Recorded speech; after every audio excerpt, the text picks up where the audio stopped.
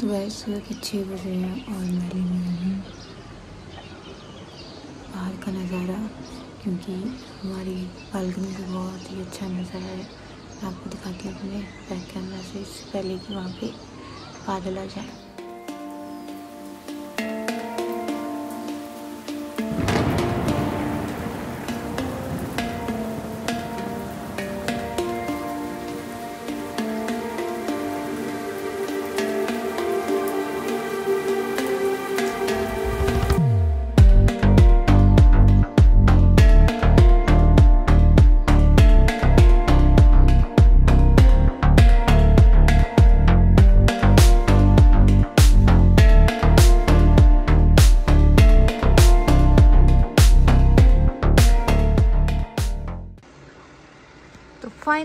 चीज़ का इंतज़ार था, वो आ गया है। उधर हैं बादल और जो स्नो वाले मतलब पहाड़ हैं, वो हैं, उसके ऊपर हैं बादल।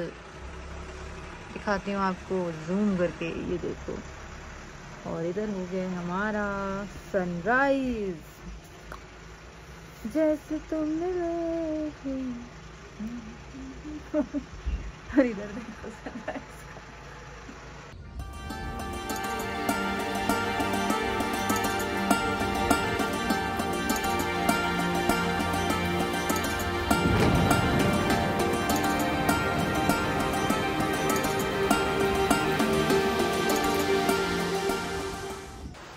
फ्रेंड्स अभी मैंने थोड़ी देर पहले आपको यहाँ से सूरज उगते हुए दिखाया था। पूरा मतलब सनराइज़ जो हो रहा था, वो दिखाया था। और अभी जस्ट हम तैयार ही हुए हैं होटल से चेकआउट करने के लिए और इतनी देर में ही तेज़ बारिश होने लगी है, बहुत ही ज़्यादा तेज़ बारिश हो रही है। ऊपर जो पहाड़ थे ना, बर्फ़ के, उसके ऊपर काली घटा छा चुकी है काले काले बादल।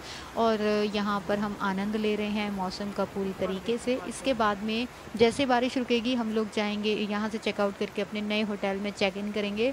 और फिर वहाँ से जो घूमने जाएँगे, वो मैं आपके साथ में आगे वीडियो में शेयर करने वाली हूँ।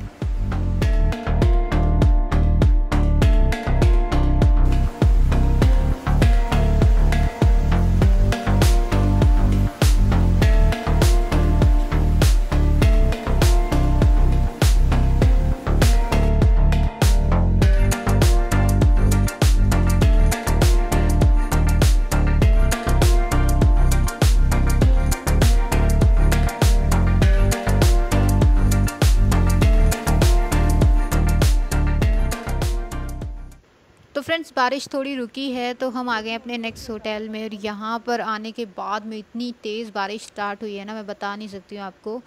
सारे उनके गमले वगैरह सब उड़ गए हैं, देखो होटल वालों के। और यहाँ पर हमने जो है अपना ब्रेकफास्ट इंक्लूड करवाया हुआ था। अच्छा हमने अपना ब्रेकफास्ट यहाँ पर इंक्लूड करवाया हुआ था, क्योंकि बाहर जाने के तो अभी कोई चांसेस लग ही नहीं रहे हैं।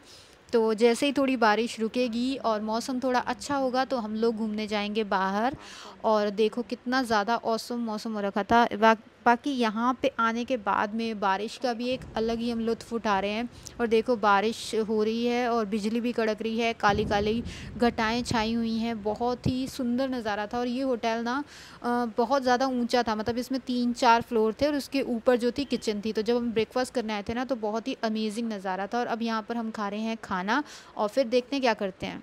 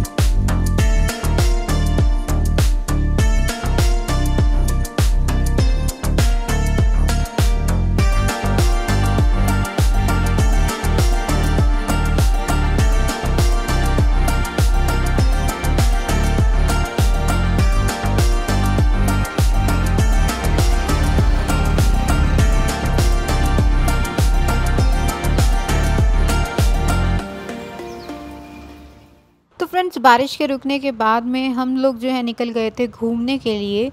तो हम अभी जा रहे हैं नामग्याल मोनेस्ट्री है, यहाँ पर बहुत ही ज़्यादा फ़ेमस है। तो हमने सोचा कि चलो पहले वो घूम लेते हैं। और उसका रास्ता जो था ना, बिल्कुल पास ही था हमारे होटल के। तो हम लोग जो हैं पैदल ही यहाँ से आ गए थे। हालाँकि मेरी जो है बिल्कुल भी तबीयत ठीक नहीं थी, फिर भी वॉकिंग डिस्टेंस पे ही था तो हम लोग यहाँ पर आ गए थे। तो फ्रेंड्स हम नामग्याल मठ पहुँच चुके हैं। ये यहाँ का बाहर का रास्ता है और यहाँ से जब इस रास्ते से आप अंदर मठ की तरफ़ जाते हो ना तो आपको बहुत ही सुंदर सुंदर पहाड़ दिखेंगे, बर्फ़ से ढके हुए और साथ में बहुत ही ग्रीनरी है। यहाँ पर आपको हरी भरी जो है, यहाँ पे हरियाली दिखाई देगी, जो कि मैं आपको शो भी कर रही हूँ वीडियो में। और यहाँ से सीधा जाते जाओगे आप तो सामने आपको एक लाइब्रेरी मिलेगी और लाइब्रेरी के राइट साइड आप जाओगे तो वहाँ पर है नामग्याल मठ का जो रास्ता है, छोटा सा, उस से आपको अंदर की तरफ़ जाना होगा और इससे आप जो है नामग्याल मठ पहुँच जाओगे। और यहाँ पर ना आ, मैं आपको वीडियो में भी शेयर करूँगी कि किस तरीके से लाइब्रेरी बनी हुई है सामने और फिर आगे जो है नामग्याल मठ का जो है रास्ता है। नामग्याल मठ दलाई लामा का निजी मठ है और तिब्बती बौद्ध धर्म का केंद्र है। यह मैकलोडगंज के खूबसूरत हिल स्टेशन में स्थित है जिसे तिब्बतियों की बड़ी आबादी के कारण लिटिल लहासा या धासा के नाम से भी जाना जाता है। नामग्याल मठ एक ऐसी जगह है जहाँ आप तिब्बत के समृद्ध इतिहास और संस्कृति के बारे में जान सकते हैं। तिब्बती मंदिर की शानदार वास्तुकला और कला को देख सकते हैं। ध्यान और प्रार्थना स्तरों में भाग ले सकते हैं और दलाई लामा की शिक्षाओं और सार्वजनिक श्रोताओं में शामिल हो सकते हैं। नामग्याल मठ के सबसे अनोखे और आकर्षक पहलुओं में से एक है वहाँ पर किए जाने वाले अनुष्ठान और समारोह, जैसे रेत मंडलों का निर्माण और विघटन प्रार्थना झंडे फहराना और मक्खन के दिए चढ़ाना। रेत मंडल रंगीन रेत से बना एक गोलाकार आरेख है, जो ब्रह्मांडीय और आध्यात्मिक क्षेत्रों और तिब्बती बौद्ध धर्म के देवताओं और प्रतीकों का प्रतिनिधित्व करता है। भिक्षु जटिल और सटीक तकनीकों का उपयोग करके रेत मंडल बनाने के लिए दिन या सप्ताह बिताते हैं और फिर इसे नदी या झील में विलीन कर देते हैं, जो सभी घटनाओं की अस्थिरता और अन्योश्चर्यता का प्रतीक है। प्रार्थना झंडा एक रंगीन कपड़ा होता है, जिस पर प्रार्थनाएँ और मंत्र छपे होते हैं, जिनके बारे में माना जाता है कि वे सभी प्राणियों में सकारात्मक ऊर्जा और आशीर्वाद फैलाते हैं। भिक्षु और स्थानीय लोग प्रार्थना के झंडों को खम्भों पुलों, छतों और पहाड़ों पर फहराते हैं और हवा को प्रार्थनाओं और मंत्रों को दुनिया तक ले जाने देते हैं। मक्खन का दीपक एक छोटा बर्तन होता है, जिसमें घी या तेल भरा होता है, जिसमें एक बाती होती है, जो तेज लौ के साथ जलती है। भिक्षु और भक्त, बुद्ध और अन्य देवताओं को ज्ञान और आत्मज्ञान के प्रतीक के रूप में तथा अंधकार और अज्ञानता को दूर करने के तरीके के रूप में मक्खन के दीपक अर्पित करते हैं। नामग्याल मठ में आने का सबसे अद्भुत अवसर दलाई लामा की शिक्षाओं और सार्वजनिक श्रोताओं में शामिल होना है, जिन्हें दुनिया भर में लाखों लोग उनकी बुद्धिमता करुणा और करिश्मे के रूप के लिए पूछते और सम्मान देते हैं। दलाई लामा साल में कई बार शिक्षाएँ और सार्वजनिक श्रोता देते हैं। आमतौर पर फरवरी, मार्च, मई, जून, सितंबर और अक्टूबर के महीनों में और कभी कभी विशेष अवसरों पर, जैसे कि उनका जन्मदिन, तिब्बती नववर्ष और नोबेल शांति पुरस्कार की सालगिरह। अब बात करते हैं तसुग लाख खांग परिसर के बारे में, जो अभी आप स्क्रीन पर देख रहे हैं। ये तिब्बत का सबसे बड़ा मंदिर है। इसमें तसुग लाख खांग मंदिर, तिब्बत संग्रहालय और दलाई लामा का निवास स्थान है। तसुग लाख खांग मंदिर परिसर का मुख्य आकर्षण है, जिसमें बुद्ध शाक्य मुनि की 9 मीटर ऊँची सोने की परत चढ़ी मूर्ति है। साथ ही चेनरे जिंग और गुरु रेने पोछे की मूर्तियाँ भी हैं। मंदिर में थंका, पेंटिंग, भित्ति चित्र और अवशेषों का एक समृद्ध संग्रह भी है, जो बुद्ध के जीवन और शिक्षाओं और तिब्बत के इतिहास और संस्कृति को दर्शाते हैं।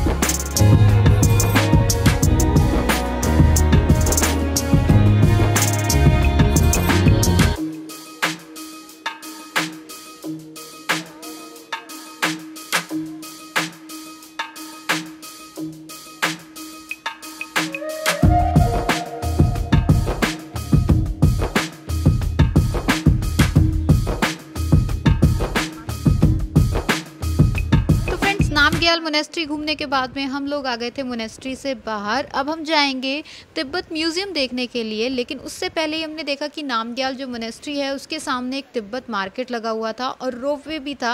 तो रोपवे में जाने में मम्मी को बहुत ज़्यादा डर लग रहा था और मुझे भी डर लगता है रोपवे में तो मैं वहाँ पर हम लोग नहीं गए। और उसके बाद में हम इस जो तिब्बत मार्केट है, उसके अंदर गए, लेकिन बारिश बहुत ज़्यादा तेज़ हो गई थी ना तो उसकी वजह से बहुत सारे जो स्टॉल्स थे, वो लगे हुए नहीं थे। तीन चार ही स्टॉल्स थे और वहाँ पर भी हमें कुछ ज़्यादा एज सच पसंद आया नहीं तो इसलिए हमने कुछ ज़्यादा देखा भी नहीं।